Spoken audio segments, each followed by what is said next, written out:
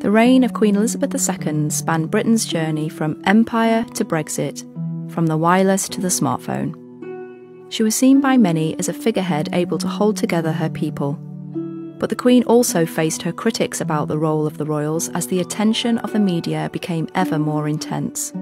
Yet while she was one of the most recognisable women in the world, almost nothing was known about her private views, an approach she thought fitting for a constitutional monarch.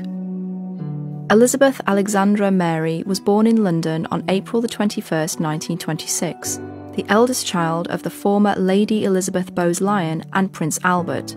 Known as Bertie in the family, he was the second son of King George V and expected his elder brother, known as David to the family, to become king. Right from the outset, Princess Elizabeth and her sister Princess Margaret attracted great attention. They were educated at home, which allowed them plenty of time for riding lessons, instilling a lifelong passion for horses. In 1936, King George V died and David became King Edward VIII. But his decision to marry the twice divorced American Wallis Simpson soon forced his abdication. And so Princess Elizabeth's shy, stammering father became King George VI, and from then on, Elizabeth was heir to the throne.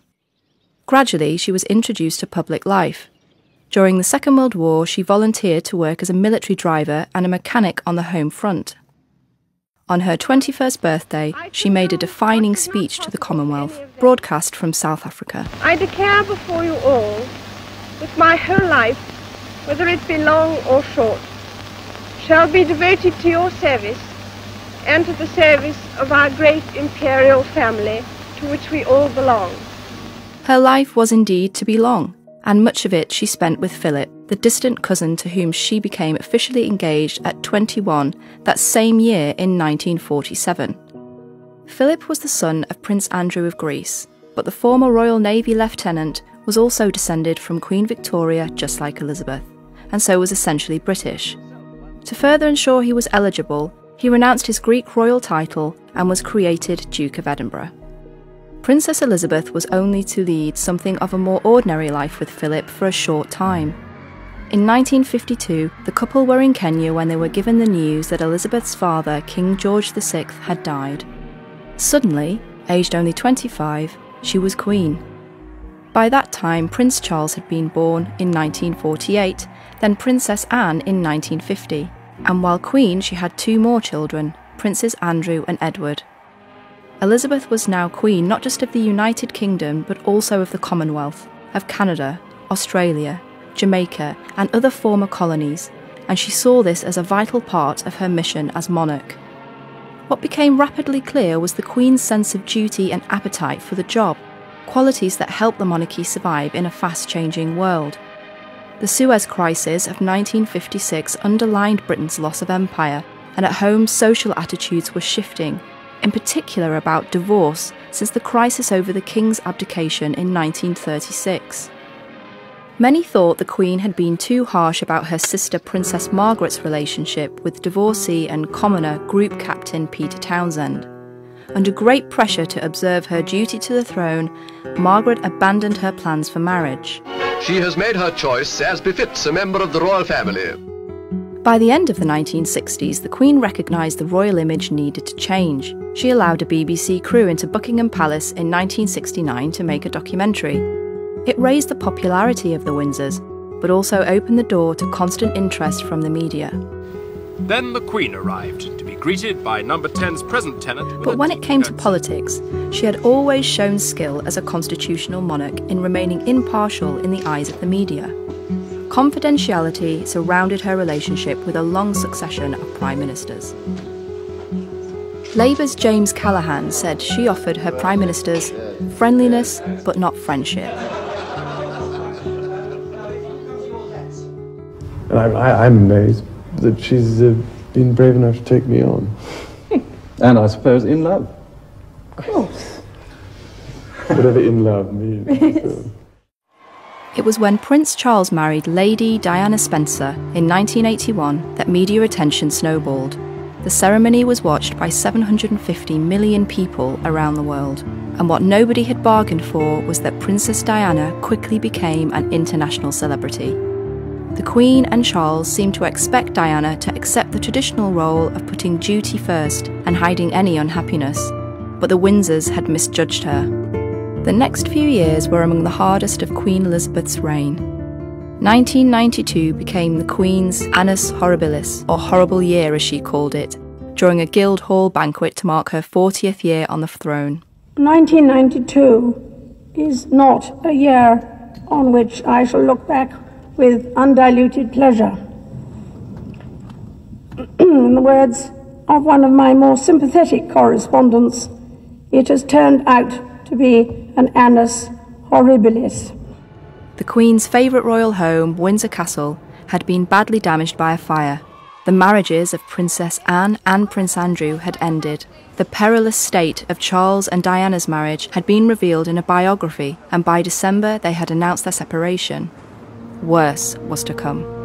On August 31st, 1997, a nation awoke to the news that Diana, Princess of Wales, had died in a car crash in Paris. Her popularity had soared since the breakup of the marriage, and the outpouring of public grief was unprecedented. So, too, within days, was the criticism of the Queen for what many saw as a cold reaction. Tony Blair, the Labour Prime Minister, had paid fulsome tribute to the people's princess. I feel like everyone else in this country today, utterly devastated. Our thoughts and prayers are with Princess Diana's family, in particular her two sons, the two boys. But the Queen remained silent and chose to remain in Scotland with her bereaved grandsons William and Harry. Then, six days later, she did return to London and decided to break tradition by ordering the Royal Standard over Buckingham Palace to be flown at half mast. She met some of the thousands who were laying flowers in memory of Diana. I, for one, believe there are lessons to be drawn from her life and from the extraordinary and moving reaction to her death. I share in your determination to cherish her memory. The Queen had finally shown she was willing to listen, but her tight lipped response to Diana's death marked a low point in her relationship with the public and the media. There followed a slow but steady return to greater popularity for the Queen and for her family. She met some of the growing demands for the House of Windsor to abandon its costly pomp, and she herself eventually started to pay income tax, though it was seldom clear how much.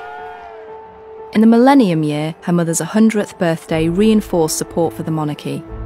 So too did a new generation of unstuffy younger royals. While Prince Charles seemed to be no great moderniser, his two sons by Diana, William and Harry, returned a more popular image to the royal family, epitomised in 2011 by Prince William's Westminster Abbey marriage to Kate Middleton. And the Queen herself seemed to want to show she was not nearly as stern and serious as she often appeared in public. For the opening ceremony of the London 2012 Olympics, she was filmed in a cameo with the actor Daniel Craig reprising his role as James Bond. In 2015, her reign overtook that of Queen Victoria, and at 89, she became Britain's longest serving monarch.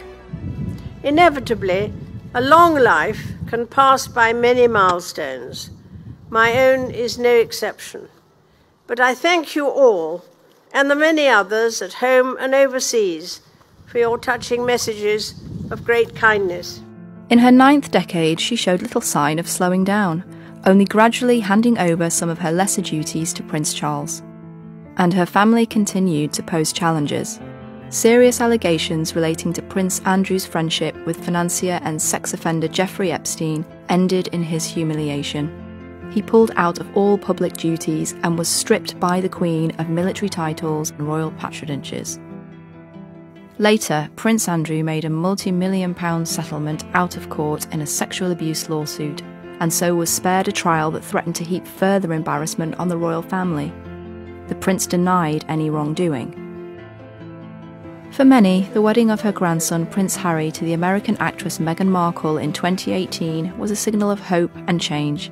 But the couple announced their resignation from public duties after months of unhappiness in the public eye they stepped down permanently as working royals and moved to California.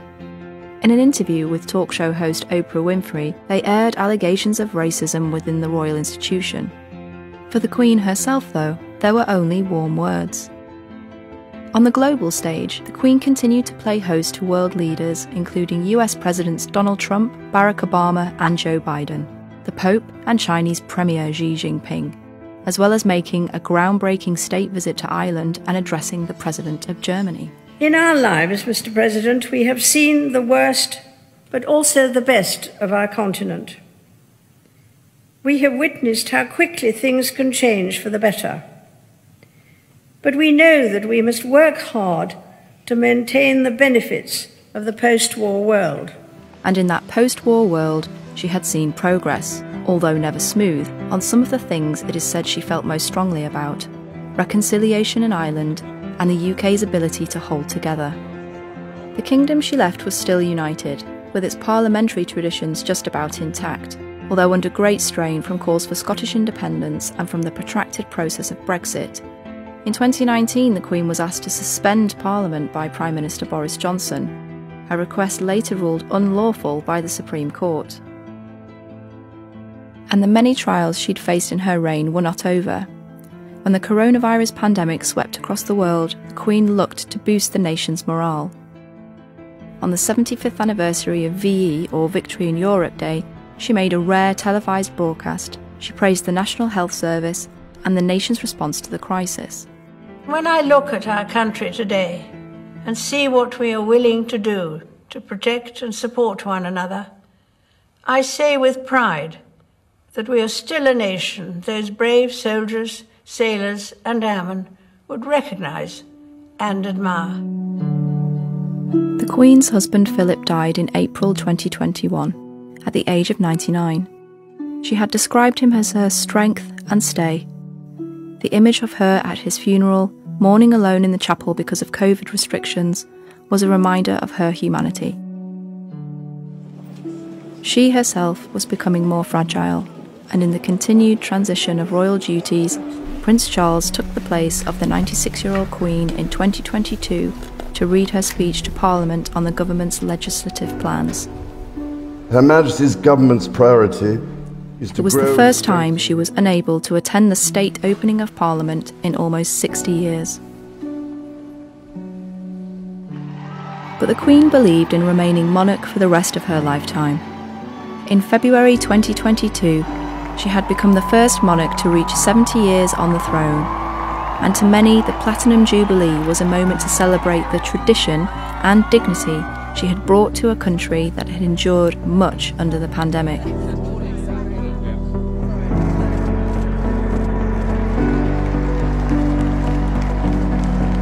Queen, figurehead, mother, grandmother, widow. She was admired even by critics of the monarchy for her sense of duty and service to the nation.